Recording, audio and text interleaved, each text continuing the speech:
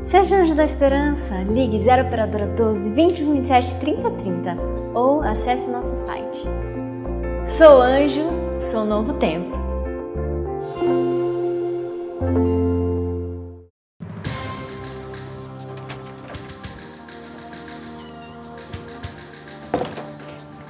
Olá! Hoje eu começo falando no programa sobre o livro de Apocalipse. O livro de Apocalipse é um livro onde apresenta profecias dos últimos tempos, do final deste mundo. É interessante que nesse livro existem vários símbolos, vários é, textos que muitas vezes nos amedrontam. Outras vezes a gente não entende nada. É estranho ver criaturas, bestas terríveis e espantosas. Mas tem uma coisa que intriga muitos de nós. É um texto que fala sobre as últimas pragas. Olha o que diz Apocalipse 15, a partir do verso 1. Depois disso, vi no céu outro sinal misterioso. João escrevendo isso nas suas visões, né? Grande e espantoso.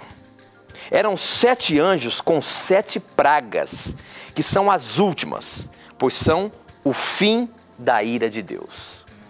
Agora, essas pragas de fato irão acontecer nos últimos tempos?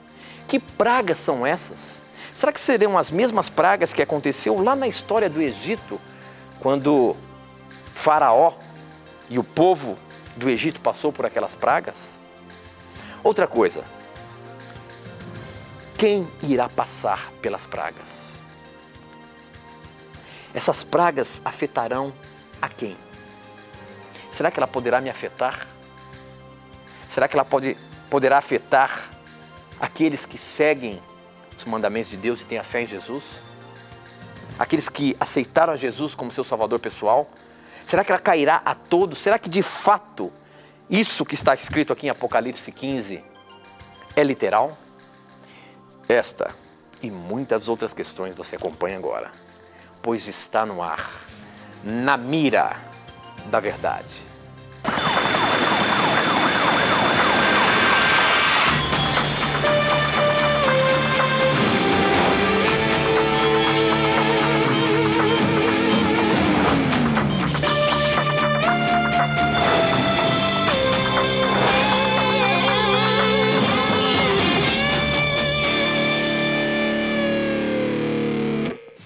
Olá, seja muito bem-vindo. Já nos conectamos com o Brasil e o mundo através das ondas do rádio, da internet e da TV Novo Tempo espalhada por todo o nosso país. Seja muito bem-vindo.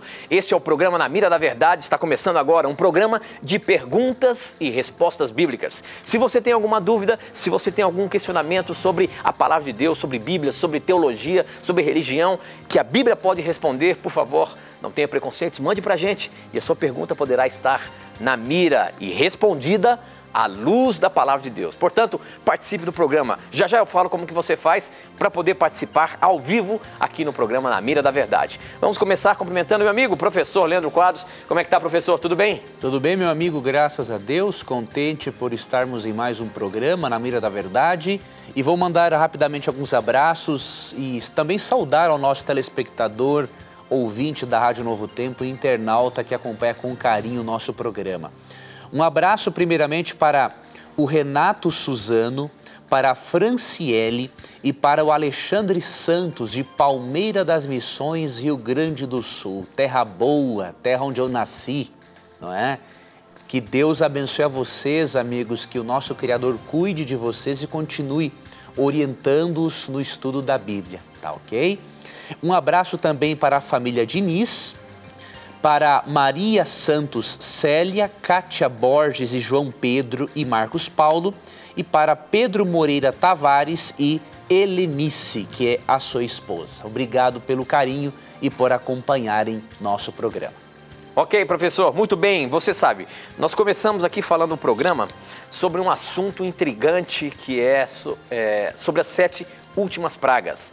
Essa pergunta chegou pelo Facebook, pelo Leandro Garoto Soares, e ele perguntou de uma outra maneira, mas eu estendo mais a questão. Como é que vai ser essa questão das últimas pragas? E nós vamos responder já já. Para você participar do programa, basta você acessar o nosso blog novotempo.com barra na mira da verdade. E hoje nós estamos voltando aqui com uma outra forma que você também pode participar do programa, através do SMS. Se você tem um aparelho celular aí, você quer mandar uma mensagem pra gente, ela vai chegar aqui agora. O número é esse que aparece aí na sua tela: 12 9 8151 0101. É fácil, hein?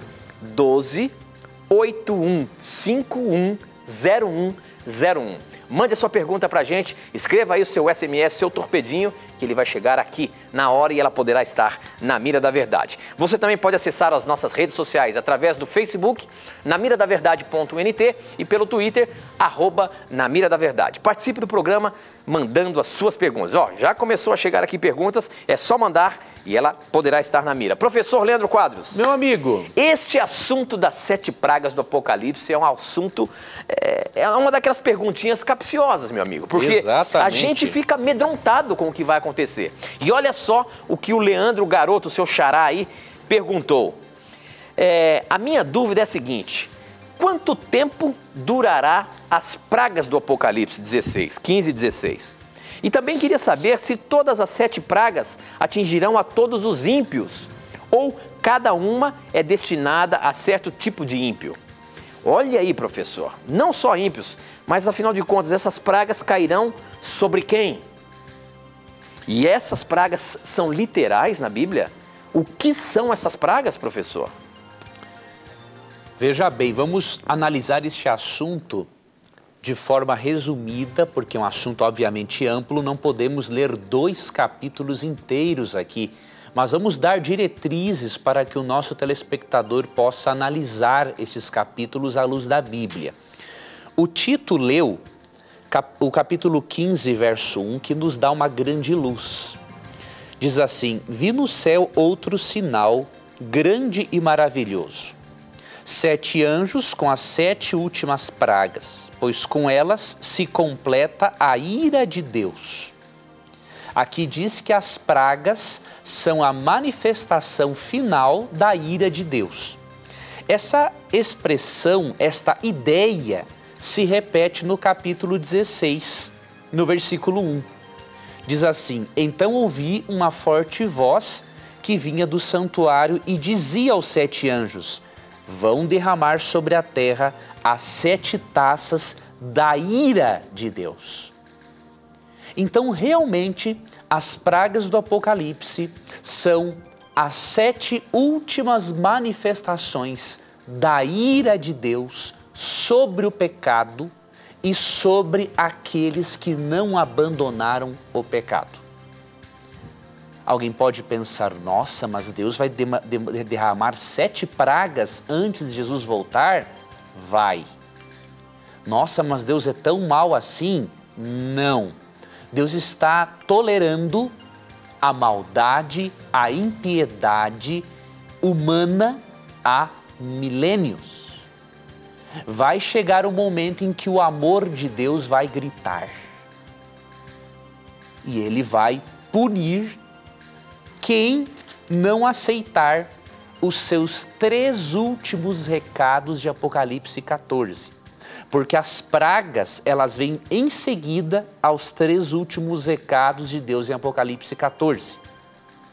Os três últimos recados de Deus em Apocalipse 14 são um convite para adorarmos a Deus no seu verdadeiro dia de repouso, não é? Ali em Apocalipse 14, 6 e 7, né, diz assim: Adorem aquele que fez os céus, a terra, o mar e as fontes das águas. E nesses três recados há também um convite para não aceitarmos o sinal da besta, que será a observância de um falso dia de repouso. Quem não aceitar os três últimos recados de Deus de Apocalipse 14 e adorar ao poder representado pela besta no capítulo 13, ele vai receber sim as sete pragas mencionadas em Apocalipse 15 e em Apocalipse 16. Estas pragas serão derramadas quando você lê os dois capítulos em todo o mundo. Só que nem todas serão derramadas de forma instantânea em todos os lugares. Algumas delas nós percebemos que são locais. Por exemplo, há pragas que são derramadas só sobre o trono da besta, certo? Então, não são, diríamos assim, universais todas elas. Um outro detalhe importante para você continuar estudando este assunto é que essas pragas, esses juízos de Deus ocorrem antes de Jesus voltar. Não é? Porque você percebe que após essas pragas, especialmente aqui, ó, no capítulo no próprio capítulo 16, não é? Você percebe dos versos 20 e 21 as ilhas e as montanhas fugindo dos seus lugares, como resultado das pragas e também depois como resultado da volta de Jesus Cristo. Agora você pode se perguntar assim: mas será que há uma evidência de que vai acontecer uma coisa dessas? Primeiro de tudo, quando a Bíblia fala, é porque vai acontecer. Até hoje, tudo o que a Bíblia disse aconteceu. Mas já que você uma, talvez seja uma pessoa mais cética, eu vou lhe dar uma evidência arqueológica de que isso é possível de acontecer. Certa vez no programa Evidências, o doutor Rodrigo Silva, que é arqueólogo, ele mencionou uma coisa muito interessante. Foi descoberto um documento em que um sacerdote egípcio reclamava a um deus egípcio, se eu não me engano o nome dele era Horus, reclamava porque coisas estranhas estavam ocorrendo no Egito. E entre essas coisas estranhas foram identificadas no documento entre sete, eu não me recordo agora, e oito pragas das dez pragas mencionadas ali em Êxodo, capítulos 7, 8 e 9. Ou seja, se arqueologicamente pode-se evidenciar que ocorreram pragas no Egito, por que, que não pode ocorrer de novo antes de Jesus voltar? E para encerrar assim esta introdução ao tema para você continuar estudando, as pragas não cairão sobre aqueles que forem fiéis a Deus. Olha o que diz o Salmo 91, versículo, versículos 9 e 10. Porque tu, ó Senhor, és o meu refúgio, o Altíssimo é a tua habitação. Nenhum mal te sucederá, nem praga alguma chegará à tua tenda os que forem fiéis a Deus, os que aceitarem o selo de Deus, o seu verdadeiro dia de repouso e adoração, os que não aceitarem o sinal da besta, os que crerem nos três últimos recados de Deus em Apocalipse 14, estarão protegidos contra as sete pragas. E se você ler, serão pragas dolorosas, mas serão as sete últimas manifestações da ira de Deus sobre um mundo impenitente que não quer se arrepender, que só quer bagunçar, que só quer fazer maldade e não quer um compromisso com os princípios de amor de Deus. Muito bem, professor Leandro Quadro, as perguntas não param de chegar aqui pelo SMS. Para você mandar suas perguntas, você pode, se tem várias formas, você pode mandar pelas redes sociais, Facebook na mira da verdade.nt, Twitter arroba na mira da verdade, pelo SMS, o número é 12 98151 0101, pelo pelo nosso blog novotempo.com barra na mira da verdade, tá bom? A pergunta que chegou aqui pelo Facebook, interessante, é a seguinte é, foi o Adelan Roque Gonçalves. Ele diz o seguinte: tem uma pergunta séria. Jesus vai vir duas vezes para buscar o seu povo? Na primeira vez, vem buscar os preparados e depois os que ficarão na tribulação? Tem outra pergunta. Uma mulher sente prazer, é, sentir prazer em uma relação sexual é pecado? Olha aí as dúvidas dos nossos telespectadores, professor. Mas primeiro, com relação a Jesus. Jesus vai vir à, Terra duas vezes? Ou seja, uma para buscar os preparados e depois da tribulação, vai, ou seja, vai haver alguma tribulação depois da vinda de Jesus? Ele vai vir novamente buscar esses que passaram pela tribulação? Como é que é isso? Vamos à primeira pergunta. Querido irmão, Jesus não voltará duas vezes para buscar os seus. Quando lemos 1 Tessalonicenses 4, 16 e 17, o texto deixa muito claro de que os, os, os filhos de Cristo irão todos de uma só vez para o céu. E eles passarão pela grande tribulação de acordo com Apocalipse 7, 9 e 10, porque será um teste para que o universo veja quem realmente é de Deus e quem não é. Tá? Então a ideia de que a igreja será arrebatada antes da tribulação não é uma ideia bíblica. Tá ok? Então leia Apocalipse 7, 9 e 10 para você perceber isso. 1 Tessalonicenses 4, 16 e 17 diz assim: Pois dada a ordem, com a voz do arcanjo e o ressoar da trombeta de Deus, o próprio Senhor descerá dos céus e os mortos em Cristo restarão primeiro. Depois, nós, os que estivermos vivos, seremos arrebatados com eles, com os mortos ressuscitados, nas nuvens, para o encontro com o Senhor nos ares, e assim estaremos com o Senhor para sempre. Ou seja, aqui todos os justos vivos e todos os justos mortos irão juntos para o céu com o Senhor por ocasião da segunda vinda, tá ok? Então, essa teoria de que Jesus volta para buscar, para arrebatar a igreja e depois para buscar os vencedores na tribulação é uma teoria antibíblica. Tá bom, querido irmão? Segunda pergunta: é pecado a mulher sentir prazer sexual? Pelo contrário, é pecado, é errado a mulher não sentir prazer sexual. Fisiologicamente, Deus fez a vagina da mulher, os seios, como zonas erógenas para sentir prazer sexual.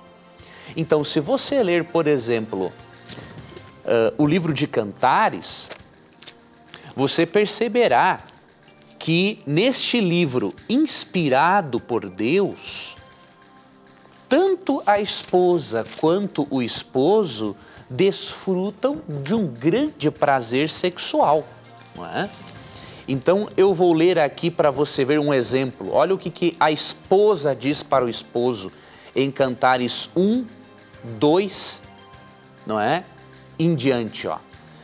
Ah, se ele me beijasse, se a sua boca me cobrisse de beijos. Sim, as suas carícias são mais agradáveis do que o vinho. Verso 4 leve-me com você, vamos depressa, leve-me o rei para os seus aposentos. Ou seja, ela gosta dos beijos dele, ela pede para ele acariciá-la e ela pede para que o marido leve, leve ela para a cama.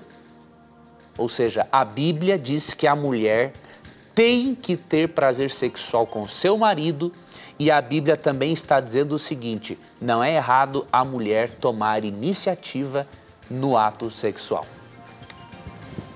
Muito bem, professor. Olha aqui, os, o torpedinho SMS não está parando de pulsar aqui. Tem uma pergunta interessante. Tem um fato, um fato no livro de Daniel que é bastante intrigante. Lá apresenta um momento é, em que Deus escreve com o dedo, assim, lá no, em um lugar, algumas frases você me lembra aí o que, que é a, o lugar onde é que estava ali o, o, o, o, rei, ou sei lá quem? E ele diz o seguinte: é, quem mandou essa pergunta aqui foi o Victor, ele mora em Castelo, no Espírito Santo, e ele diz o seguinte: gostaria de saber em que língua Deus escreveu na Babilônia Menem, Menem, Tekel, Ufacim.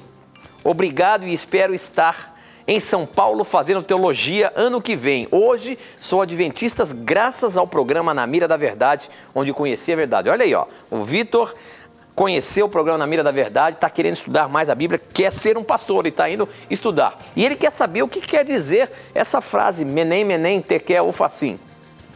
Tem alguma explicação bíblica para isso, professor? Tem sim. Primeiramente, muito obrigado pelo seu depoimento, meu irmão. É uma honra saber que você conheceu aí a verdade bíblica por meio do programa e que deseja fazer também teologia, viu? Que Deus abençoe muito os seu, seus planos, os seus sonhos. A dúvida deste nosso jovem amigo se encontra em Daniel capítulo 5, não é? Vamos dar uma olhada aqui nos versículos. A, inscri a inscrição que foi feita na parede de forma sobrenatural, apareceu uma mão escrevendo algo é, aparece aqui a partir do verso 25, tá? Mene, mene, tekel, parzim, versos 26. E este é o significado dessas palavras. Mene, Deus contou os dias do teu reinado e determinou o seu fim. Tekel, foste pesado na balança e achado em falta. Pérez, teu reino foi dividido e entregue aos persas. Isso aqui, querido, é uma linguagem, é a língua em aramaico. São palavras aramaicas, entendidas pelo rei Beltesazar. Tá? Beltesazar estava abusando. Além de ele ser um rei pagão, ele estava bebendo vinho em taças de ouro que faziam parte do templo de Deus. Veja a blasfêmia.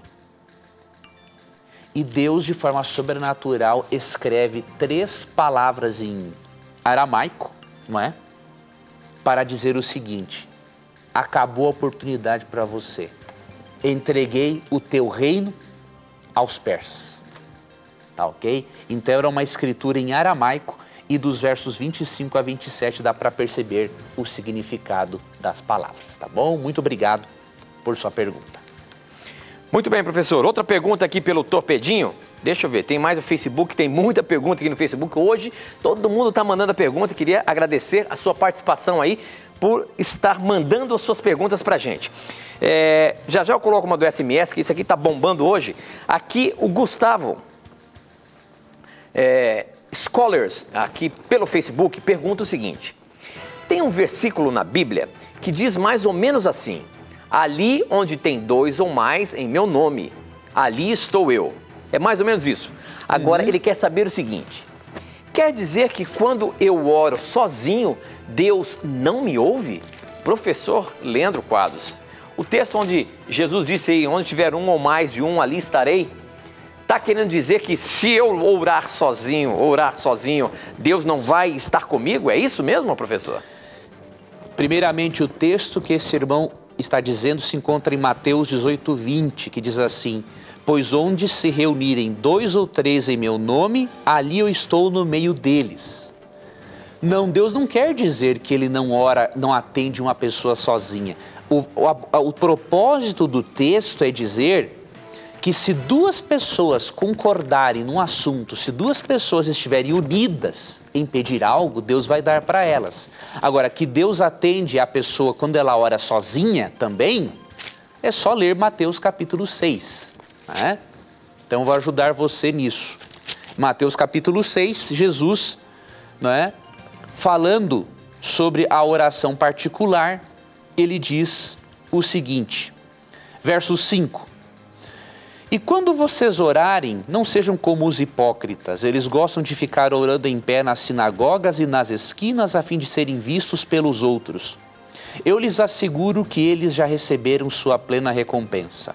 Presta atenção agora no verso 6. Mas quando você orar, vá para o seu quarto, feche a porta e ore a seu pai que está em secreto. Então seu pai que vem em secreto o recompensará. Então a Bíblia é clara.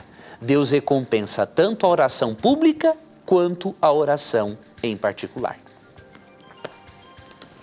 Professor Leandro Quadros, essa pergunta é capciosa, meu amigo. Eu vou ler aqui o, o versículo que está mencionando essa pergunta.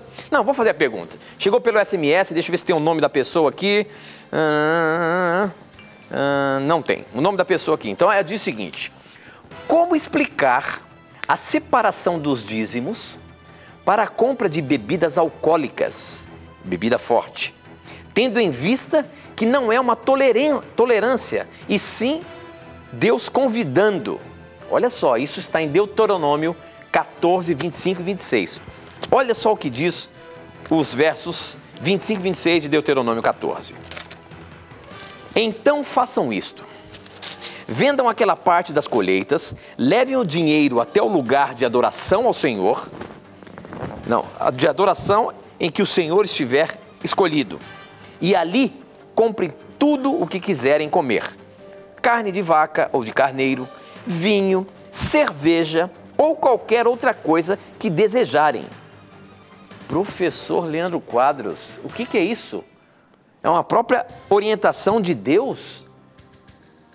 Separando os dízimos, o dinheiro da colheita e você comprar aquilo que te apraz? É isso mesmo, meu amigo. Inclusive bebida forte, onde fala até na linguagem de hoje aqui, cerveja. Que história é essa, meu amigo, que a Bíblia está dizendo aqui? Então quer dizer que pode usar bebida forte? Você tem aí, deixa eu ver quanto tempinho. tem um minuto.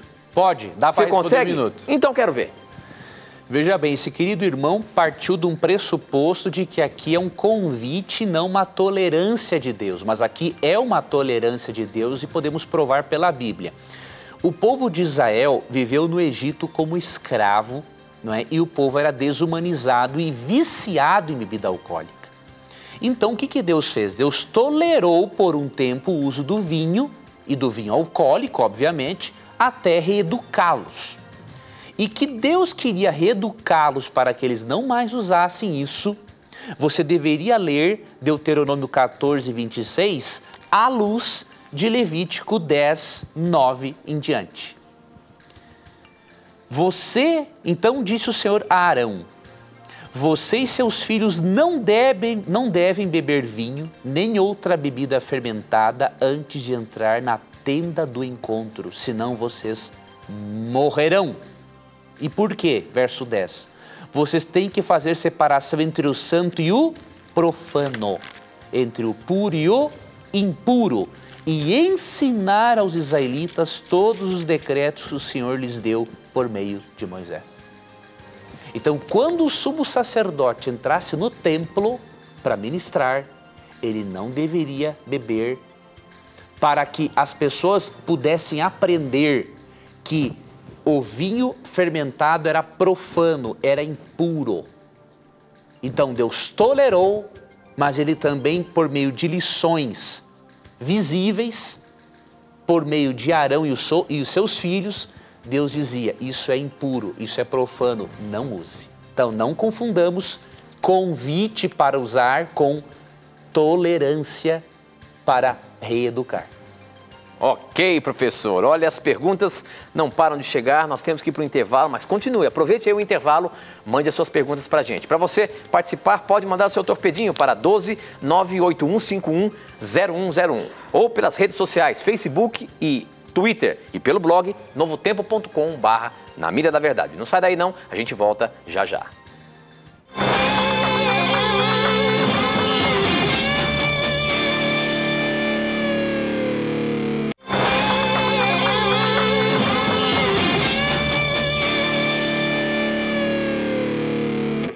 Já estamos de volta, agora são 9 horas e 34 minutos, estamos ao vivo aqui na TV Novo Tempo. Este é o programa Na Mira da Verdade, um programa em que você pergunta e a Bíblia responde. Eu queria mandar alguns abraços agora, eu queria mandar um abraço especial para os nossos... Olha, tem muita gente participando do programa hoje, só para vocês terem uma ideia, mais de 200 perguntas, mais de 230 perguntas já chegaram pelo SMS, umas 400 pelo Facebook, enfim eu vou ter que pensar sua pergunta aqui para colocar na mira. E eu queria mandar um abraço para as pessoas que estão nos acompanhando.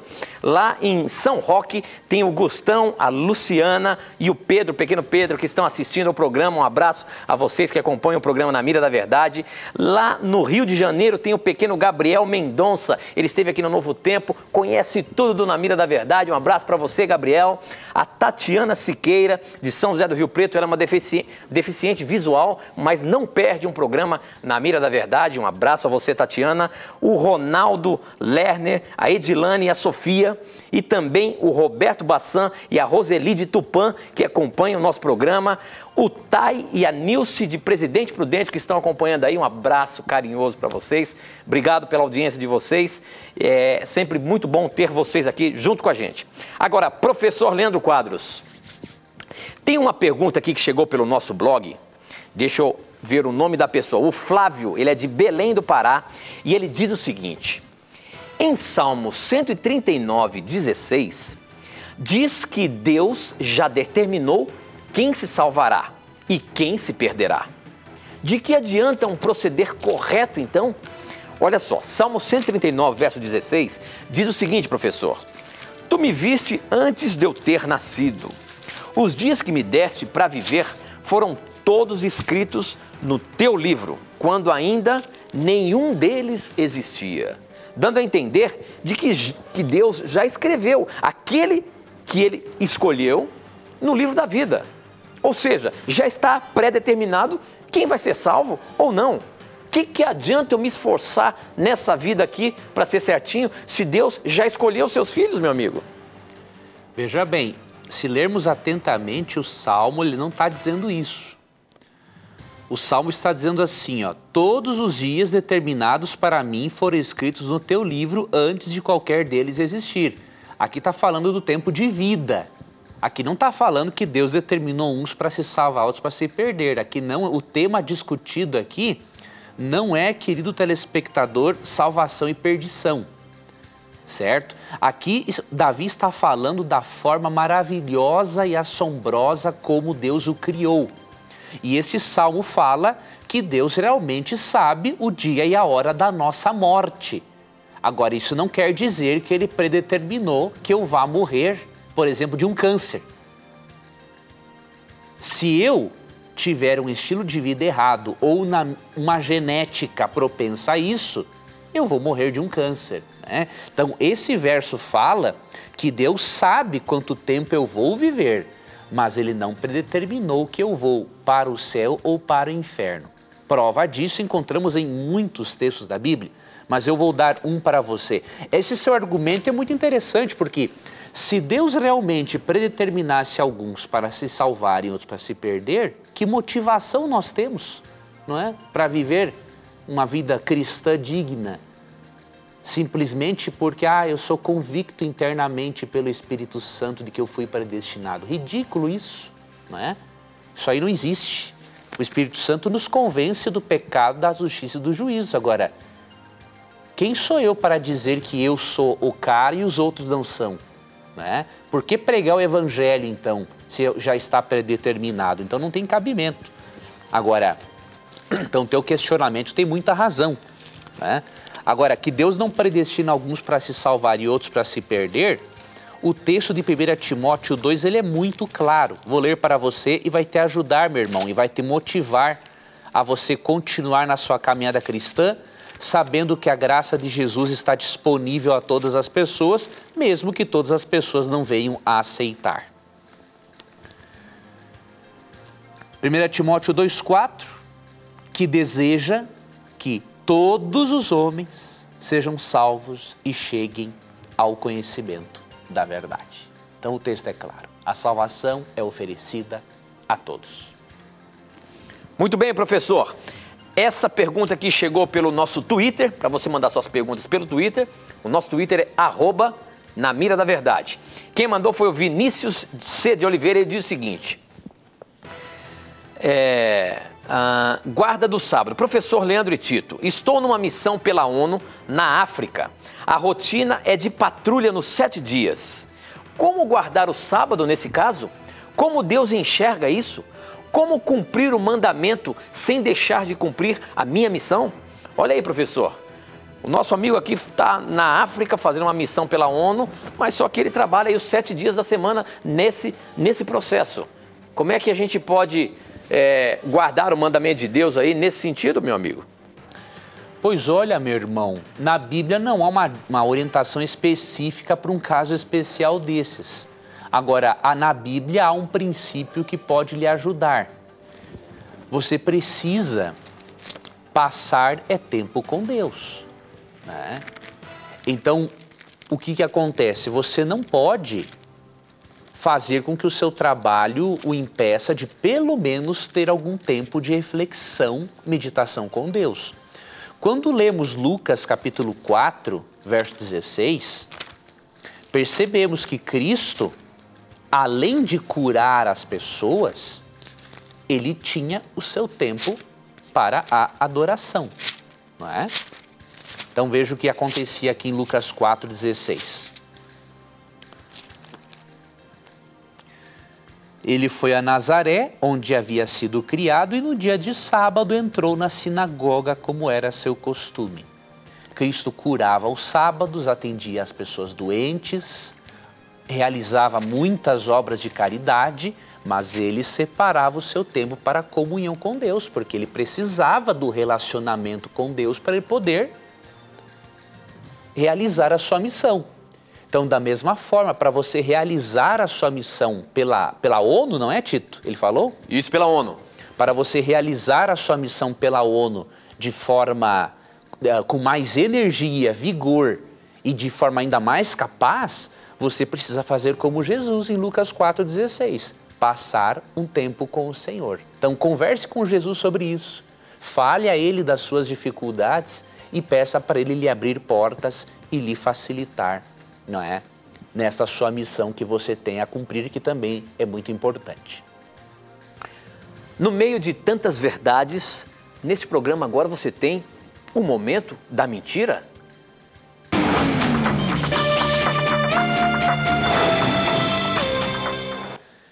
Eu tive o desprazer de manter contato com um link onde haviam 16 argumentos que comprovavam, entre aspas, que a salvação não foi oferecida para todos os seres humanos.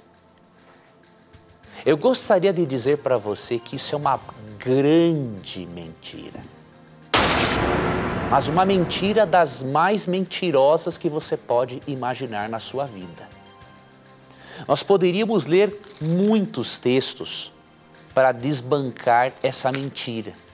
Eu não sei o que, que o indivíduo tem na mente para escrever 16 argumentos pelos quais a salvação não é oferecida para todos. Não sei o que, que ele ganha com isso. Mas vamos mostrar um entre muitos textos que existem que já liquidam esses 16 ou poderia ser 150 argumentos. Esse texto já basta para provar que aquilo é uma mentira. 1 João, capítulo 2, versículos 1 e 2.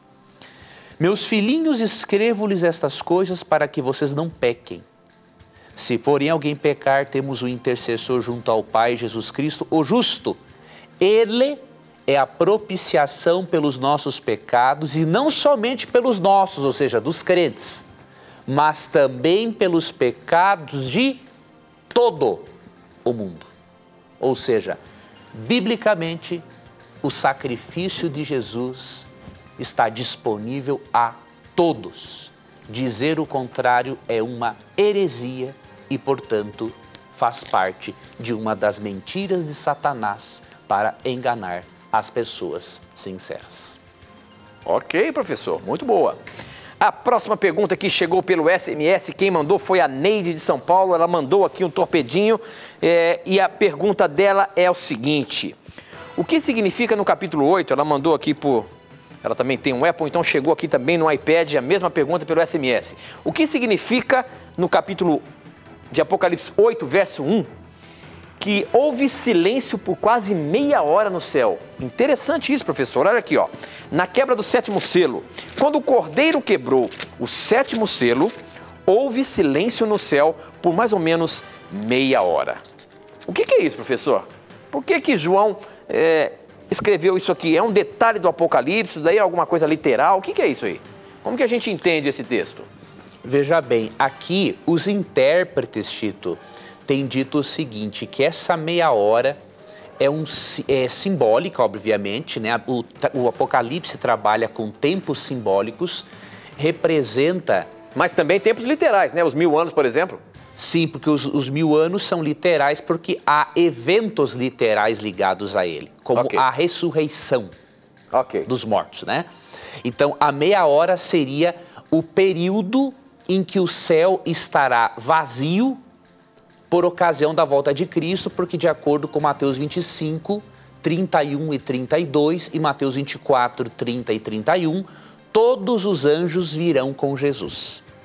Alguns se aventuram a dizer que essa meia hora também equivale ao período de uma semana em que os salvos viajarão com Jesus até o céu.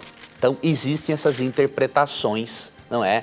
E nós não podemos assim descartar nenhuma delas. Agora, bater um martelo definitivo também é difícil porque o livro do Apocalipse não é uma coisa assim muito simples de se interpretar os detalhes, tá? Agora, os aspectos gerais do Apocalipse é possível sim interpretar-se.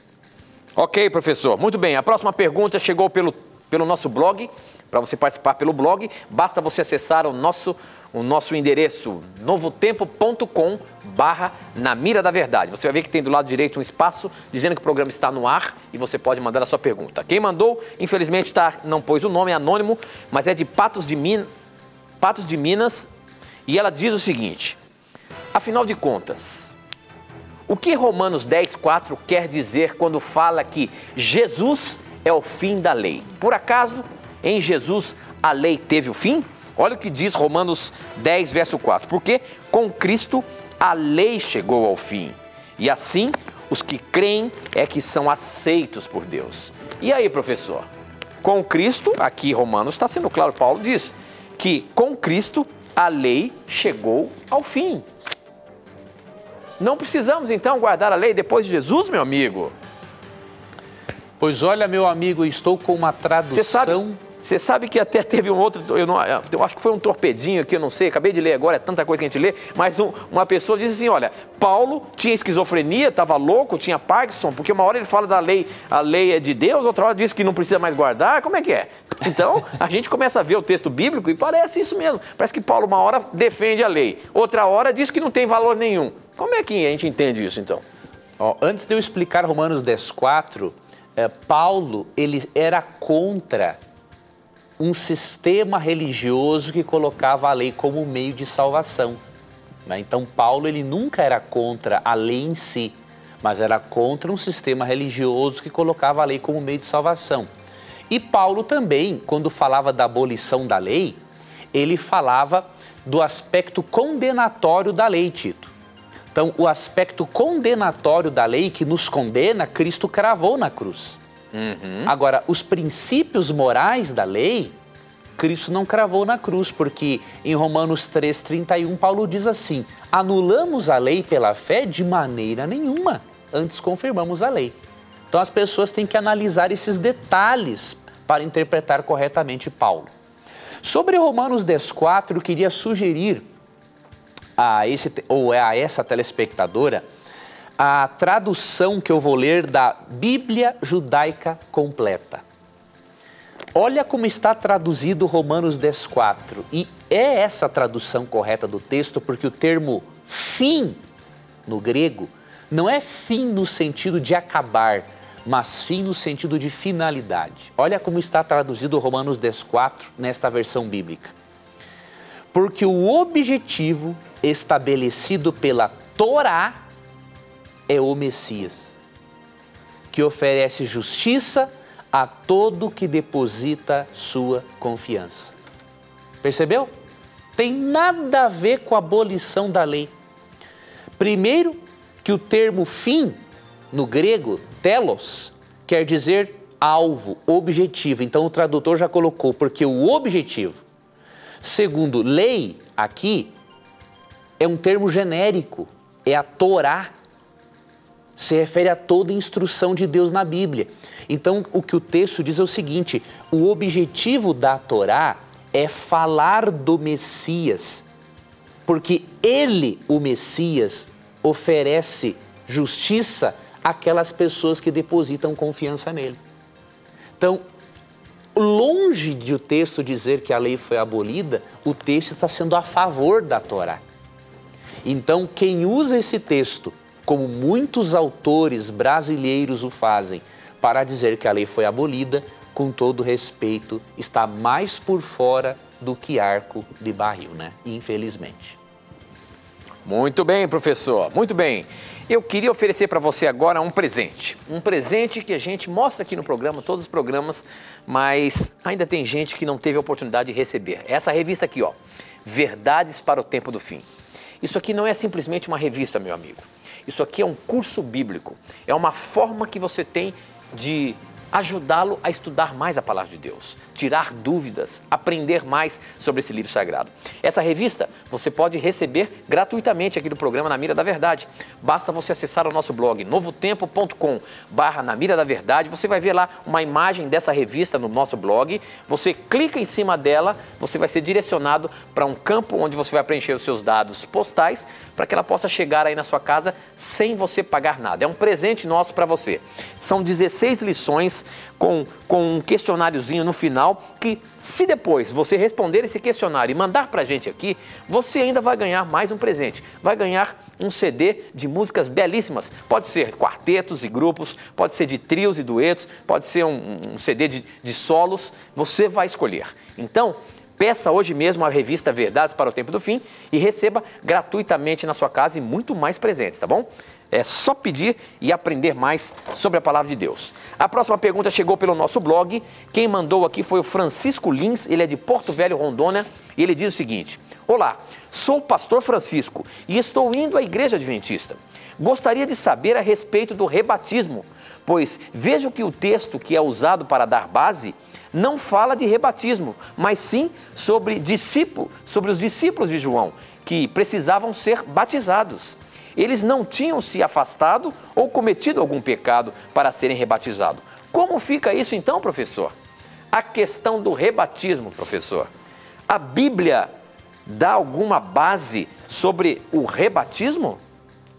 Porque a Bíblia sempre é clara em dizer que um só batismo, aquele batismo por imersão. Agora, como entender a questão do rebatismo aí? Estou vendo que você está procurando um livro, é isso mesmo? Estou procurando um livro, Tito, para mostrar para esse querido pastor a posição adventista correta sobre o assunto. Bom, antes de eu procurar o livro Evangelismo, Atos 19, 1 a 9, realmente, querido pastor, menciona um rebatismo num momento em que 12 discípulos não sabiam quem era o Espírito Santo. Então, como eles não tinham pleno conhecimento de quem era o Espírito Santo, eles foram novamente batizados nas águas. Agora, eu vou lhe mostrar um livro uma citação de Ellen White para você perceber que no seu caso você não é obrigado a passar por um rebatismo. Então eu vou lhe mostrar esse texto do livro Evangelismo. Eu vou pedir licença aqui para eu encontrar este livro. Ok, eu vou mandando abraço aqui para os nossos. Vai mandando nossos abraços aí, Facebook que, que estão com a gente aqui. Deixa eu ver onde é que está o pessoal aqui. Um abraço. Vamos ver, tem muita gente pendurada aqui com a gente. Um abraço todo especial para Uau FG. Estrela. Encontrei. É, deixa eu ver quem mais. Nando Oliveira. Achei, meu professor? amigo. Deixa eu ver quem mais. A Tami Oliveira, a Norma Sueli de Paula, o José Aparecido. Obrigado por vocês estarem participando com a gente aqui, mandando suas perguntas pelo Twitter. O Renato Fernandes, o Moisés Felipe, uh, o Ravi Rangel, o Regis Portes. Encontrou aí, professor? Encontrei, amigo. Ah, então vamos lá. Um abraço a todos vocês. Ó, Uh, no livro Evangelismo, querido pastor, na página 372 até a página 375, você percebe a opinião de Ellie White sobre o assunto. É, eu vou ler para você aqui uma das citações para você perceber que você não é obrigado a se rebatizar. Você pode fazer uma profissão de fé se você, sendo você um pastor fiel, aos princípios da sua igreja e à luz que você tinha anteriormente, não é? Então vou ler aqui para você. Mas qual é a base bíblica? Depois você me mostra aí sobre o rebatismo. Foi aquela que eu já mencionei, Tito, de Atos 19, 1 a 9. Ah, tá. Que eu mencionei para ele. Vou ler 372 em diante. A questão do rebatismo deve ser tratada com o máximo cuidado. Depois de ser apresentada a questão do sábado e outros pontos importantes de nossa fé, e de as almas manifestarem coragem moral para se colocarem ao lado da verdade, verão esta questão à luz da Bíblia uma vez que estejam plenamente convertidas. Mas alguns têm tratado desavisadamente desses assuntos e Deus tem enviado repetidas reprovações. Os que colocam na frente o assunto do rebatismo, fazendo de tanta importância como o do sábado, não estão causando a devida impressão na mente das pessoas, nem apresentando corretamente a questão. Requer grande discriminação introduzir verdades afins com o sábado, manejando bem a palavra, dando a cada um no devido tempo sua porção de alimento. Os que tomam sobre si a cruz do sábado têm tremenda batalha a combater contra o próprio eu e os interesses egoístas que se querem interpor entre sua alma e Deus. Então, ao darem este grande passo, e firmarem os pés na plataforma da verdade eterna, precisam ter tempo para se habituarem a essa nova posição, sem que os apressem na questão do rebatismo. Ninguém deve tornar-se consciência para outro ou insistir e fazer pressão quanto ao rebatismo. Isto é um assunto em que cada indivíduo precisa conscienciosamente tomar sua atitude no temor de Deus deve ser cuidadosamente apresentado no espírito de benignidade e de amor. Portanto, o dever de insistir não pertence a ninguém, senão a Deus. Dá-lhe a oportunidade de operar por meio de seu Espírito Santo na mente, de modo que o indivíduo, de modo que o indivíduo seja perfeitamente convencido e satisfeito no que respeito no que respeita a este passo avançado. Nunca se deve permitir que se introduza e prevaleça neste assunto o espírito de debate e contenda. Não tomeis a obra do Senhor das suas próprias vossas mãos. Os que têm tomado conscienciosamente uma atitude quanto aos mandamentos de Deus, uma vez que se lide com eles devidamente, hão de aceitar toda a verdade essencial. E depois ela fala aqui, né, no decorrer do capítulo, que a pessoa, obviamente, pode fazer uma profissão de fé, se ela assim o desejar. Então, leia essa parte aqui, além de Atos 19, 1 a 9, e deixe que o Espírito Santo coloque no seu coração, meu irmão, o desejo pelo rebatismo ou pela profissão de fé. Se for o rebatismo, você vai simplesmente refazer o seu casamento espiritual com Jesus. Se for profissão de fé, você estará também fazendo seu casamento espiritual com Jesus. O Espírito Santo é quem vai decidir por você. Muito bem, professor. Nós estamos chegando ao final do nosso programa, mas não poderia demonstrar aqui as pessoas que vieram acompanhar o nosso programa. Eu tenho aqui, ó, dá uma olhadinha para aquela câmera lá, pessoal. Obrigado por vocês terem vindo. O seu Jamiro, a dona Maria, a Carla e o William. A Carla e o William são de Malacacheta e vieram aqui na, nos seus parentes aqui de Guararema. Obrigado por vocês estarem aqui conhecendo ah, os bastidores do Na Mira da Verdade. Professor, tivemos muitas e muitas perguntas, mas chegamos ao final do nosso programa e a gente se encontra terça-feira que, que vem, se Deus quiser. Tudo bem, meu amigo. Um abraço a você, um abraço a você, amigo telespectador, amigo internauta, que Deus lhe abençoe. E nunca se esqueça de uma coisa: sempre que você tiver a coragem de perguntar a palavra de Deus, terá coragem de lhe responder. E aqui no programa você já sabe, sempre as suas questões, sempre os seus questionamentos estarão na mira da verdade. Até o nosso próximo encontro. Tchau.